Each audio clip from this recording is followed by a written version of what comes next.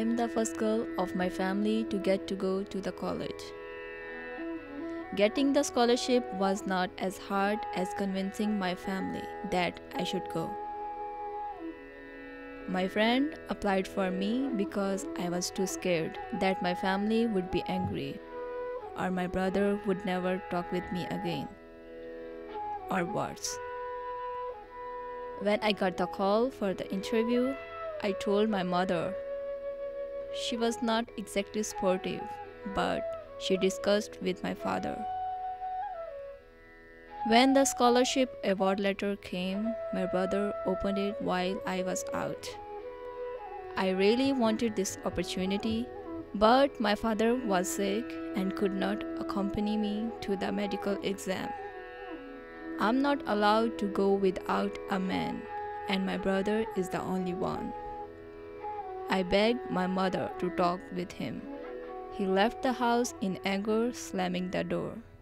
She cried. And so did I.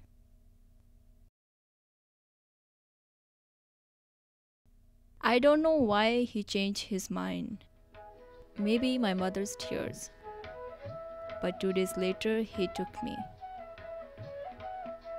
When I left the country, my father faced a lot of pressure from my relatives.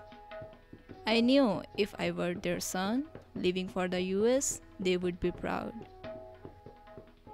But I saw trust in my father's eyes for me. My mother said, Now, you are responsible for our family respect and we trust on you. After spending six months in the US, I can finally see proud for me in my brother's eyes when we Skype. Last week, I told my parents I'm thinking of applying for a job in Dubai. I thought I would need many explanations, but my mother, who is usually afraid of what people think, told me that I'm sensible, that I can do it. Everything is different now. My brother applied for this scholarship and asked for me my help. My mom told me my two female cousins got admission in universities. Their parents allow them just because of me. My sister has also started her college. This scholarship was not just for me. I understand this now. It was for my whole community, my relatives, and my family. My experience, my belief in myself against all odds has changed the mentality about girls' education.